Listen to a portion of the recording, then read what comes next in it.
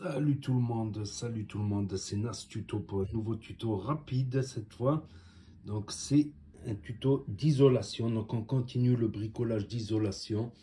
Donc euh, j'ai pris ça, c'est autocollant, c'est rapide, c'est que du bricolage, voilà. Mais ça permet d'améliorer l'isolation de la maison tout simplement. Vu que je mets un poêle à bois, mais bon, il y a, il y a les rideaux entre les portes les fenêtres et ça peut passer ici au bord quoi. C'est pas collé on va dire. C'est pas collé. Donc on va améliorer l'isolation grâce à ça. Donc je l'ai ouvert. C'est il y a 6 mètres. Donc il y a de quoi faire.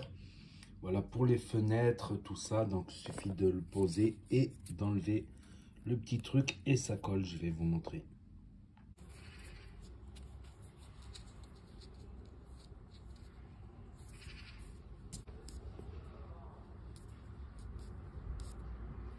et les boudins de porte, évidemment.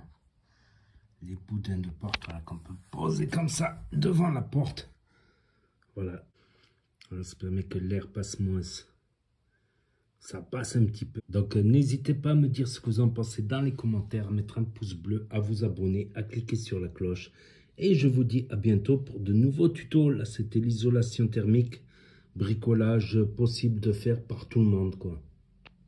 En plus des rideaux thermiques.